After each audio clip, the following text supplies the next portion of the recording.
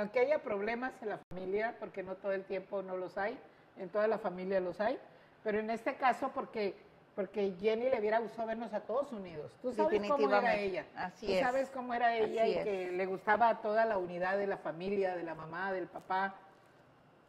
Pero Ella, ella tenía una frase inolvidable, Sí. que, que, bueno, que a mí me enseñó muchísimo. Sí. Ella siempre decía, la es espesa. Sí, ajá. Y entonces ella quería, me imagino que para ella fuera,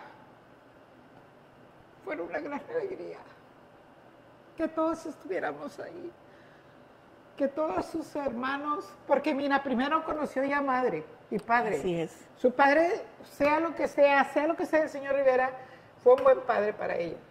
La llevó al, al estrellato, la llevó, a, a- a- la enseñó, la- le fue teniendo paciencia y paciencia hasta que Jenny sola pudo llegar, ya con el estudio y todo, ¿verdad? Pudo llegar hasta donde fue. Entonces, pues yo creo que, tenemos derechos. No conoció a sus hermanos, pues también. Y luego sus hijos, pues todos tenemos los derechos, ¿verdad? De, de- de estar allí, en esa estrella. Si no es por el sol, sino porque es una satisfacción muy grande, yo creo, el darnos cuenta que ella llegó hasta inmortalizarse Sí, en el paseo de Hollywood. Sí. Eso, eso es una emoción muy grande, para, al menos para mí sí. Claro, porque Ajá. tú tuviste la dicha de, de estar en sus comienzos, en sus principios, que ella cantaba, que andaban, que no se podía tomar una botella de vino, dices que no podía pedir una champán porque no había dinero, pero cuando a ella ya le fue bien, hubo dinero para todo. Ah, no, sí, todo. definitivo. Me acuerdo que una vez fuimos a fuimos a comer, habíamos, le fue a hacer una entrevista a Jessica Maldonado.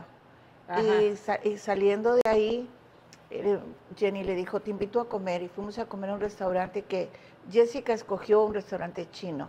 Ajá. Entonces ella sabía de ese restaurante, no sé, y nos sentaron en la barra. Ajá. Entonces Jessica pidió un champagne Dom Perignon para ella, así Ajá. chiquito. Y, Sí.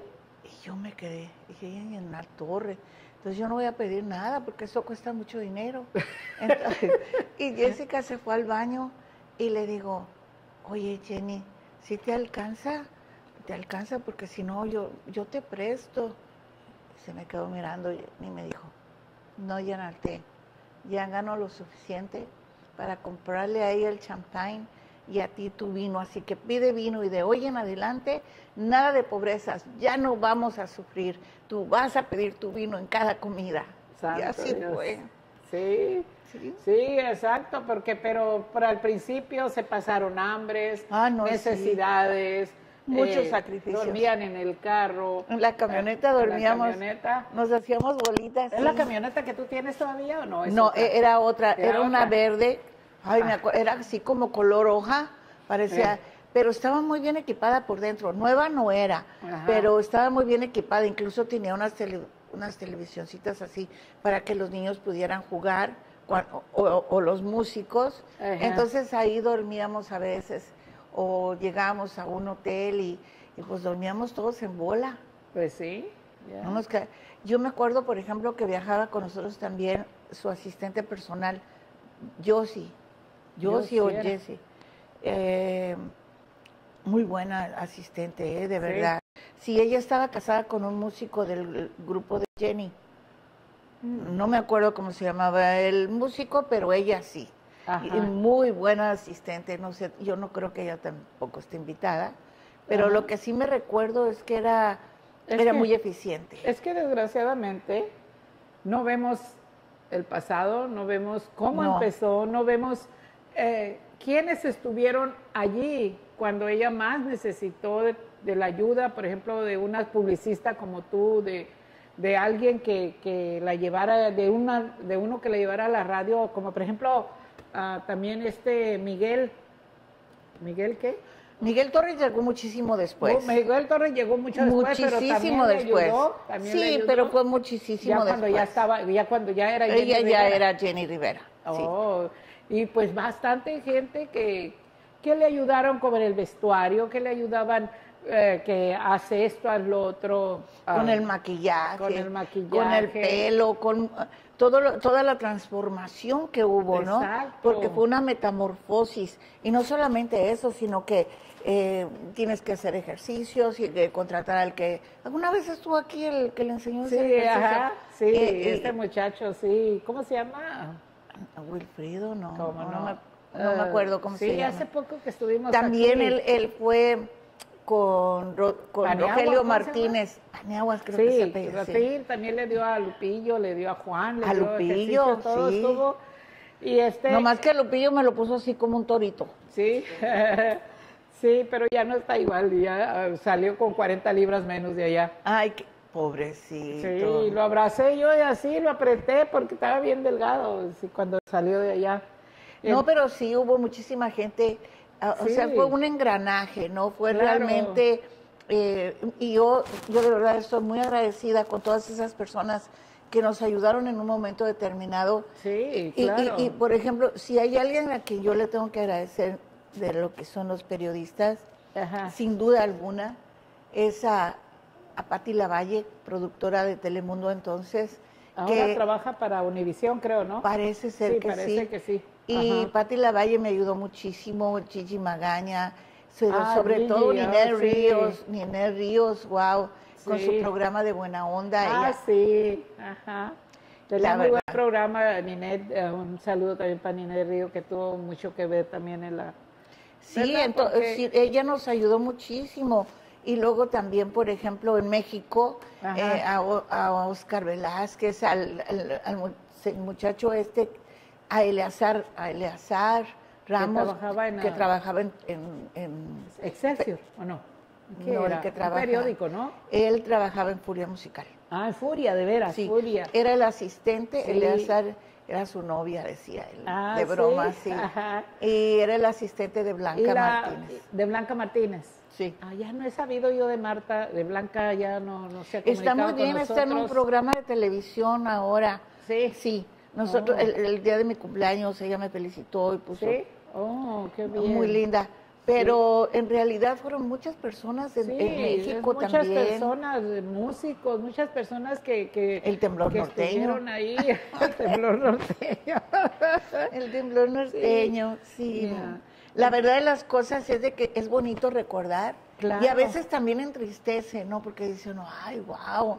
Y ya esas, Sí. a- algunas de esas personas incluso ya se murieron. Sí, muchas. Estábamos viendo ayer unas fotos porque andamos haciendo un abaniquito y estábamos viendo una foto de, de que o cuando recibió su premio Lo Nuestro con un vestido azul y que está bien bonita, bien maquillada. Le dije, ¿quién te maquilló ahí? Mi hija me dijo, este Jacobito. Le dije, ah, qué bonita te dejó. Es que él tenía, era un artista para maquillarlas también, las, las hacía, pero bien bella se miraba. Pero, pero el primer premio, lo nuestro, ay, me recuerdo, eh, fue bien chistoso porque llegamos a, a Miami, Ajá. ajá, y este, y según nosotras nos dieron una habitación a cada una, Sí. cercanas, pero nos dieron una habitación a cada una, y dijimos las dos, ay, estamos libres. Qué, qué padre, por primera vez estamos libres tú y yo, ¿no? Nos la vamos a pasar bien. Y estábamos almorzando cuando volteó así de reojo y, y veo que don Nelson me andaba buscando. y le digo, ay, en la torre, ¿quién crees que está aquí? No voltees, no voltees. ¿Quién? Me dijo. Le dije, Einstein. No la friegues, sí, aquí está Einstein. Así le, así le decía ella a Nelson en la torre. Y luego después, no sé cómo volteó para la... Y sí, ella llegó, hola, ¿cómo están? Y se sentó con nosotros, ¿no? Y al rato volteó otra vez y ya había llegado Juan. Y le digo, ya se nos cebó. ¿Qué pasó? Dice, le digo, pues llegó tu marido, ahí está Juan. ¿El Juan López? Sí, entonces los dos llegaron y nosotras creíamos que ya nos sabían, nos la íbamos a pasar a Sí, toda. según andaban libres ustedes. Según nosotras andábamos libres. Esa noche fue muy, muy interesante y muy importante para, para Jenny. Sí. Y, tu- y- y tuvimos la, el privilegio de compartir con Germán Lizárraga, Ajá, sí, el que también fue reconocido esa noche. ajá. Y estuvimos en una sola mesa y. Germán le dio un consejo. Estábamos Juan, Nelson, Jenny y yo, Y don Germán le dio un consejo y le dijo, mija, eres muy simpática, nunca cambies, Ajá. porque tienes, no solamente tienes talento, tienes mucho carisma, así le Qué bueno. Germán. Y así era cierto. Sí, sí, claro que sí. Y este, ¿qué te iba a decir? Ah, sí, ah, tanto, tanto que, que batalla. Yo le digo a las nuevas a esta, Generaciones. a las nuevas generaciones, que no es fácil. No, para nada. Uh, Jenny no fue de ahora a la mañana cuando ella subió, sufrió mucho, batalló mucho. Nos tocó batallar bastante, pero yo creo que, que dio lo que lo que hicimos, los sacrificios que hicimos al principio, sí funcionaron. Lo que sembramos, ella cosechó. Entonces, yo creo que eso es muy importante. Y ahora los artistas se cansan muy rápido. Sí, verdad, luego, luego, luego ya que si- quieren ser famosas y esto y el, o Sí. se comportan como si Como fueran si famosas. fueran, exacto. Sí. Y, Sí. y- y no, esto es de dale, dale, dale, dale. No solamente, no solamente es una inversión económica, es una inversión de tiempo, De es una inversión de sí. muchísimas cosas. Oh, sí. Pero yo creo que Jay tenía su objetivo Ajá. y ella, de verdad, de verdad, una persona muy apasionada, ella sabía lo que quería Ajá. y Sí. sabía que lo iba a lograr. Sí, sí.